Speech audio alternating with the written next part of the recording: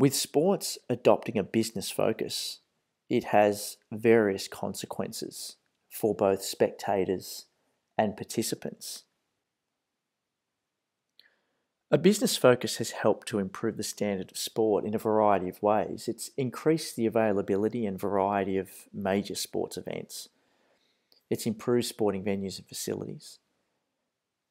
Building sport into an entertainment spectacle that is televised and made accessible to a wider population. It means more people get to experience sport. Easy access to sports media coverage increases people's interaction with sport and also socialization. Sports events bring people together, and the bigger they are, the more people can come together. Commercializing sport has helped to improve the standard of sport due to improved safety, so improved sports equipment and facilities uh, at venues, increased participant experience, elite athletes enjoying the glory and high socioeconomic status of their success. So, athletes working hard and getting financially rewarded for what they do. And this has allowed sports stars to be an inspiration for other aspiring athletes because sport is able to reach a much wider audience. And there are also plenty of negative consequences of commercializing sport. For example, when big business is involved in sport, they assume much more control, and that can take control away from the people who follow the sport. And it can lead to loss of tradition, for example, naming uh, stadiums after corporations, for example, can take away some of the traditions from the sport.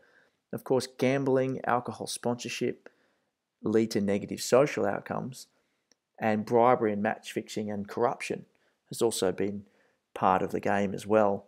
We also have increased costs for fans having to attend major sporting events, it can become very costly when you add up entry and merchandise and also uh, meals and hospitality at the venue can be very, very expensive. And we've also seen crowd violence, which can be linked to alcohol consumption at the venue. The celebrity profile of athletes, sometimes it can lead to them losing touch with society, and at times it can often lead them to being overly monitored by the media, and that can lead to problems for the athlete, and that can lead to issues around how they are portrayed in society. We've seen some negative behaviours of some of our sports stars in the past, and that can affect the fans as well. We've seen racism as well, particularly with Adam Goodes in AFL in the last few years, and we can see that media control certainly comes with positive and negative coverage of both the sport and those that play it.